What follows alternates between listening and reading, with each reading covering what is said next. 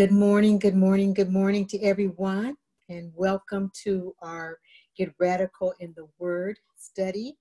Um, it's Monday, August 3rd, and we are going to be reading this morning um, 2 Corinthians 10.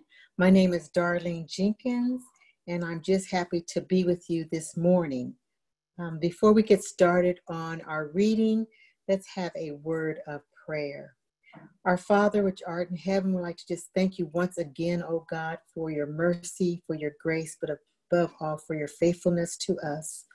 God, you are faithful even when we are not. And so we want to thank you for another day of life, another chance to allow the Holy Spirit to work within us to glorify God. Now, as we read your word, we're asking that your word will be a seed and that it will fall on good soil, may it grow and blossom in our hearts, oh God, so that we may be the people, um, the individual that you would have us to be. For this is our prayer in the precious name of Jesus. Amen. Amen. Okay, we're going to get started. Um, again, I'm reading Second Corinthians uh, chapter 10, and I'm using the New Living Translation. The New Living Translation for Second Corinthians 10. And it starts with uh, Paul defends his authority. Reading chapter, uh, verse 1. Now I, Paul, appeal to you with gentleness and kindness, with the gentleness and kindness of Christ Though I realize you think I am timid in person and bold only when I write from far away, well, I am begging you now so that when I come, I won't have to be bold with those who think we act with human motives. Verse 3 We are human, but we don't wage war as humans do. We use God's mighty weapons, not worldly weapons, to knock down strongholds of human reasoning and to destroy false arguments. We destroy every proud obstacle that keeps people from knowing God. We capture their rebellious thoughts and teach them to obey Christ. And after you have become fully obedient, we will punish everyone who remains disobedient. Verse 7 Look at the obvious facts. Those who say they belong to Christ may recognize that we belong to Christ as much as they do. And as we're reading, I'm just going to take a break here. We've read seven uh, verses now. I hope you kind of look through um, the chapters or the verses and are thinking about um, our acronym that we use every morning, and I should announce this at the beginning, but let's look again. We're looking for a space, a sin to confess, a promise to claim, an attitude to adopt or adjust, a command to obey, an example to follow. So, so far we have read seven verses, and I've seen some things. I hope that you've seen them as well. There's a few um, examples in here and some other things. So um, we will, if you will list that in the chat, I see some have already, someone's already listed that. We'll go back after I read um, this 18 verses. After I've read the 18 verses, we'll go back and look at the chat and look for our uh, SPACE acronym. So I'm going to go back to now uh, verse 7. Look at the obvious facts those who say they belong to Christ must recognize that we belong to Christ as much as they do. I may not seem I may seem to be boasting too much about the authority given to us by the Lord, but our authority builds you up. It doesn't tear you down. So I will not be ashamed of using my authority. Verse 9 I'm not trying to frighten you by my letters. For some say Paul's letters are demanding and forceful, forceful, but in person he is weak and his speeches are worthless. Those people should realize that our actions when we arrive in person will be as forceful as what we say in our letters from far away. Verse 12 Oh, don't worry. We wouldn't dare say that we are as wonderful as these other men who tell you how important they are, but they are only comparing themselves with each other, using themselves as a standard of measurement. How ignorant. 13. We will not boast about things done outside our area of authority. We will boast only about what has happened within the boundaries of the work God has given us, which includes our working with you. We are not reaching beyond these boundaries when we claim authority over you as if we had never visited you. For we were the first to travel all the way to Corinth with the good news of Christ. Verse 15 Nor do we boast and claim credit for the work someone else has done. Instead, we hope that our, your faith will grow to that boundaries of our work among you will be extended. Verse 16 Then we will be able to go and preach the good news in other places far beyond you where no one else is working, then there will be no question of our boasting about work done in someone else's territory. Verse 17 As the scriptures say, if you want to boast, boast only about the Lord. And finally, verse 18 when people commend themselves, it doesn't count for much. The important thing is for the Lord to commend them. So that is the end of chapter 10 as we were reading the verses. Um, again, we're looking for, I'm going to chat now, we're looking for the assent to confess, a promise to claim, an attitude to adopt or adjust, a command to obey, an example to follow. And I see Barbara has joined us. Good morning, Barbara. She's saying an example to follow is in verse 3. We walk in the flesh, but not but we do not wage war according to the flesh. Amen. Thank you, Barbara. Yes, we don't use um, the weapons of the flesh.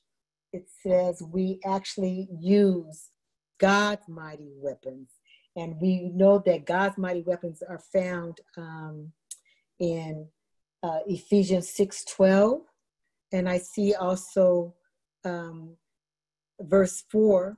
Pastor Fordham has the attitude adopt the weapons of our warfare are not carnal. That's exactly right. the warfare that we use, um, as I say, uh, we can find them in, in Ephesians 6:12, the belt of truth, the breastplate of righteousness, the shoes of the gospel, the shield of faith, the helmet of salvation, and the sword of the Spirit. So those are the weapons that we use. And Paul brings that out very clearly that we're not, he's not using worldly weapons, but he's using spiritual weapons. And those are the only ones that we can use to break down the strongholds. Uh, Pastor Fordham mentions in uh, verse 5 example to follow. He says, bring every thought into captivity to obedience to Christ. Amen. It says we destroy every proud obstacle that keeps people from knowing God. We capture their rebellious thoughts and teach them to obey Christ. Amen.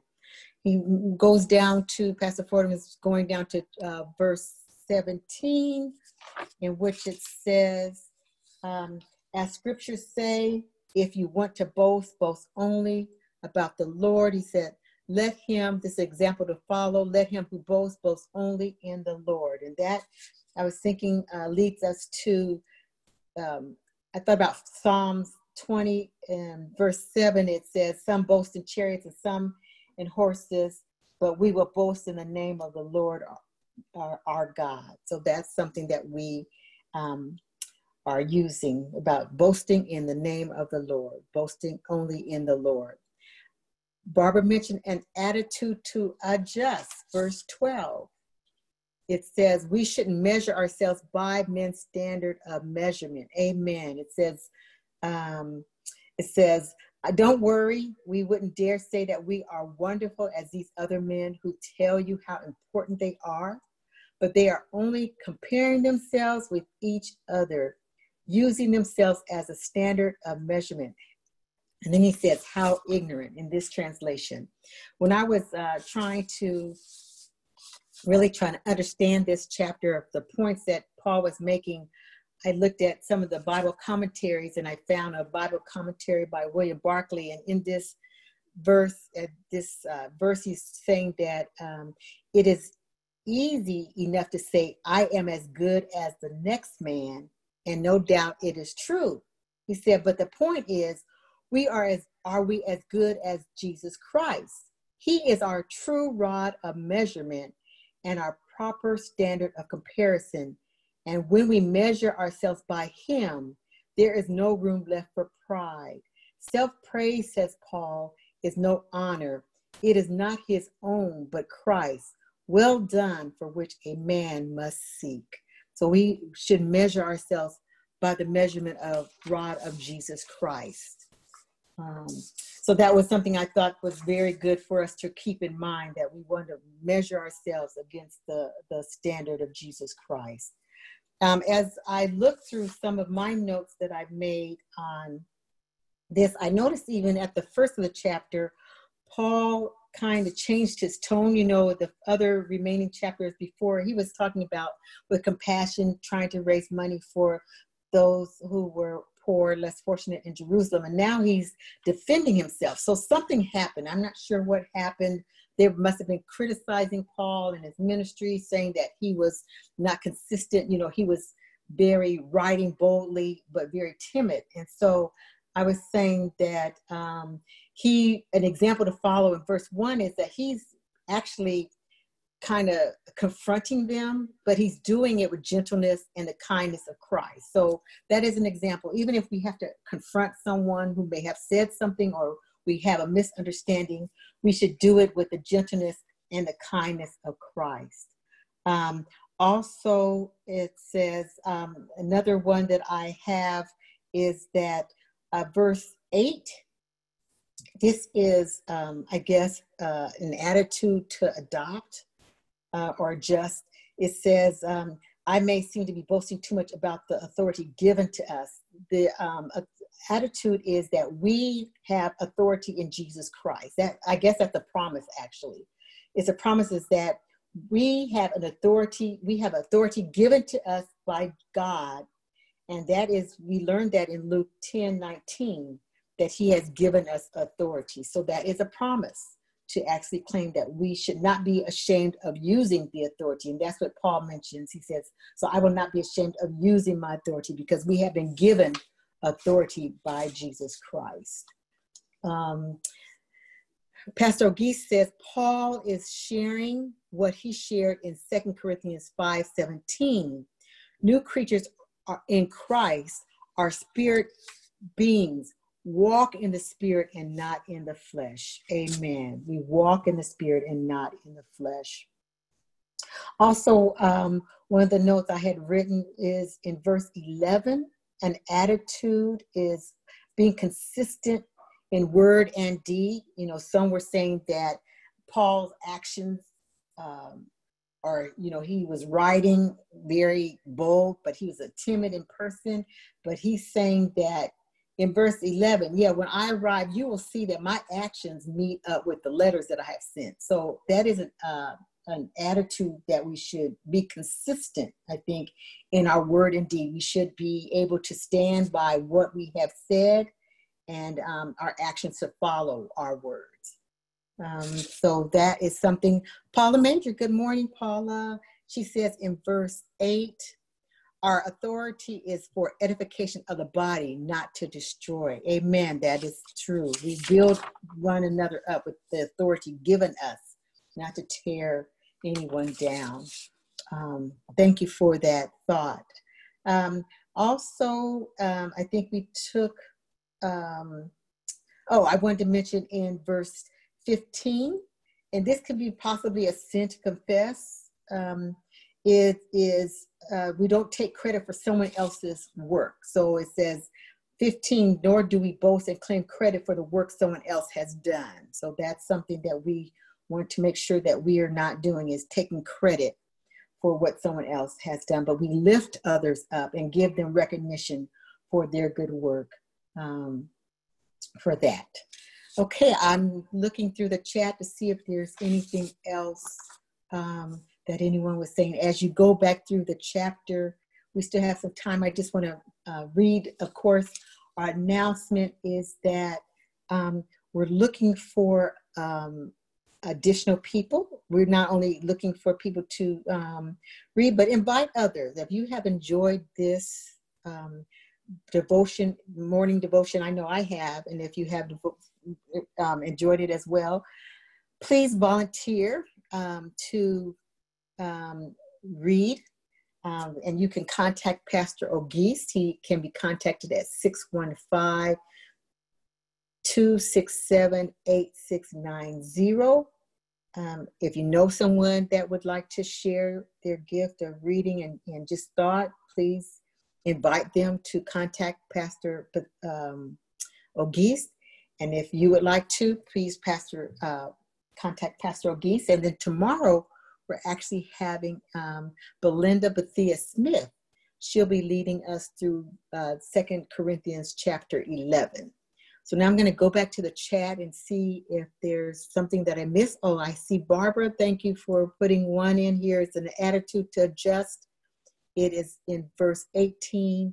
It says, Don't look for men to commend us, only look to God for his approval. Amen. That is so, so true. And what a verse, I think, to actually end on is that we um, want to make sure that we don't look for others to um, we don't compare ourselves to others and we don't um, look um, take credit for other people's work and we certainly don't look or do something to be uh, commended or to get others approvals but to get god's approval um, and Emma said, thank you, Emma. Um, congratulations for William um, and also Jordan for graduating from OU. Yes, um, they um, had the official graduation this past Sabbath, Saturday evening. So um, we want to pray for the children and teachers, yes, as they start school this week and some next week. Thank you for the reminder, Emma. We want to, of course, pray for the safety um, and just for the parents as well. I know that um, it is very difficult for parents. Some um, I know are trying to work and then also helping their children to navigate uh, the school year to deal with some of the anxiety as well as just the new normal that we're dealing with. So let's pray um, as we close out. If there's no more um, reflections, we'll just close out at this time. Um, our heads, oh Father in heaven, we just come to you First of all, we just thank you for this time we have spent together, oh God, just learning about the jewels and the treasure that are in your word. We're just asking that we will continue to dig and to seek and to learn um, and to just value your word.